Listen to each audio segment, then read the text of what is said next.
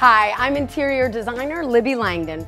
A lot of times people hear, oh, I want to do a kitchen redo or a bathroom redo, and they see dollar signs. But there are loads of ways that you can change the space and the way it looks, and you can do it on a budget. A super update in a bathroom that can be inexpensive is to change your flooring. Usually it's a small space, so it's not gonna cost you a lot of money to change it. You could either add stone, and if you wanna do big stone on the diagonal, that makes your bathroom seem much more expansive. Or if you have wood floors, resand them and stain them a really dark, rich color. It looks very expensive and it's really gonna change the look of that space.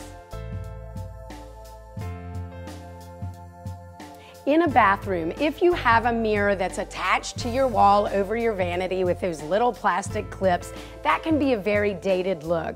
So for not a lot of money, you could have some molding cut, mitered on the corner, and you literally frame out the mirror. It looks built in and it's a little change, but it really, really looks so much more finished. In a bathroom, a great update that can transform the whole feel of the space is a new lighting fixture. A lot of times Bathrooms come with those sort of long bar with a million bulbs on it.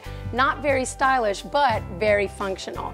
There are tons of things you can find now, even at a home improvement store, that might have a nice finish, a nickel finish, an oil rub bronze finish, something that's really gonna freshen up the look of your bathroom. So look at your lighting and make sure that the bulbs required are not chandelier bulbs. They're very small and you won't get enough light. So as long as it's a standard fixture with a bulb can make a big change in there. I hope you've gotten some good tips that you can use in your own space. And if you want some more design ideas, be sure to pick up my book, Libby Langdon's Small Space Solutions. It's chock full of great ways for you to update your home.